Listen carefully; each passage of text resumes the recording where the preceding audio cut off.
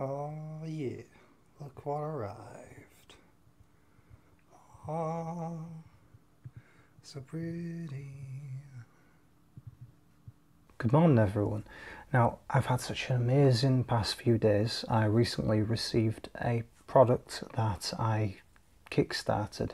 Just to be clear, I am not sponsored for doing this video. It's just a product that I had to try and if you are a hub motor purist like me, chances are this is the only option of its kind. Marlon Loves Wheels are these sleeves that slip over existing skateboard wheels specifically very useful for hub motors. They were part of a Kickstarter campaign that I supported and believed in. Simply put, they're aimed at people like me with hub motors. In the box I received a bunch of merch, stickers, a business card, a thank you note and um, a badge, but unfortunately no instructions as to how to fit the hub sleeves on the motors themselves. In terms of installing them, it wasn't as straightforward as I had hoped, but um, you know that's to be expected with most new products like this. It's kind of funny actually the way in which you get them on. Um, you have to put them in a pan of boiling water from your kettle put a plastic bag over it, put the wheels in on top of the plastic bag and water, and leave them there for exactly three minutes. Not five minutes, as they will be too cold, and not one minute, as well, it won't be warm enough. Somebody did try this approach using um, a temperature gauge, and uh, but I don't have one of those, so I just had to time it Don't worry about the wheels being too warm, that doesn't happen. They're just kind of warm to the touch. They, they won't burn you or anything, um, but it makes the material more malleable in order to slip them over the wheels. One thing that really, really helps in terms of putting these on the wheels is if you've actually cleaned the base wheels first.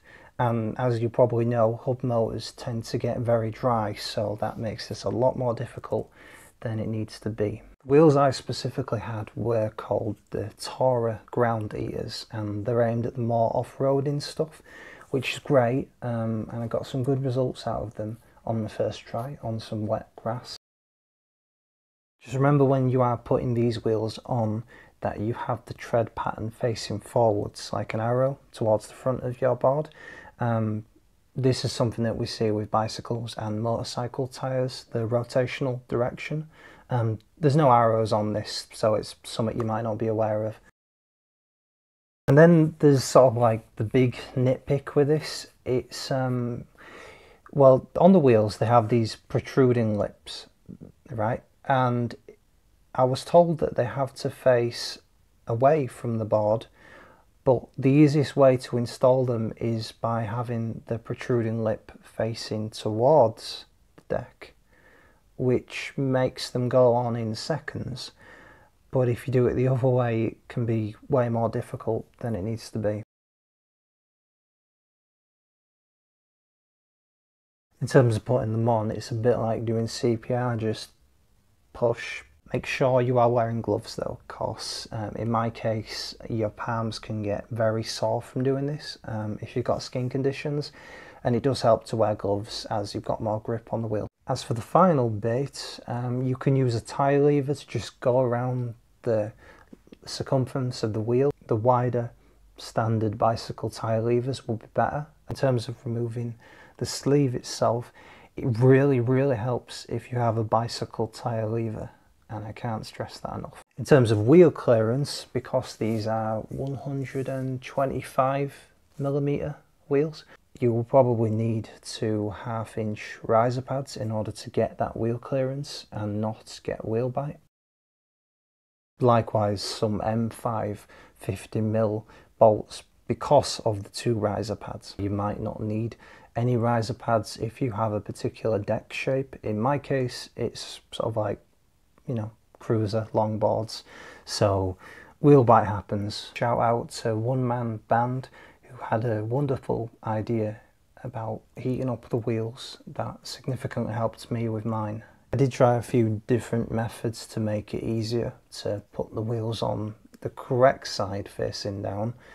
Um, unfortunately, you know, nothing worked. I tried heating it up with a hairdryer. I tried cutting into the sidewall to see if that made any difference. Um, but no, one side seems to be a lot tougher, even though that's the side that's supposed to slip on. Um, it could just have been my batch because I had a particular colour. But, um, you know, it is what it is. At least I've got the wheels on. So yeah, there's my first impressions of Marlon Loves Wheels and their Tora Ground Eaters. So next video I'll be doing a proper review with some actual field tests and footage of my findings but um, it's been quite promising. I've been out for about 10-15 minutes so far and um, I really really like them.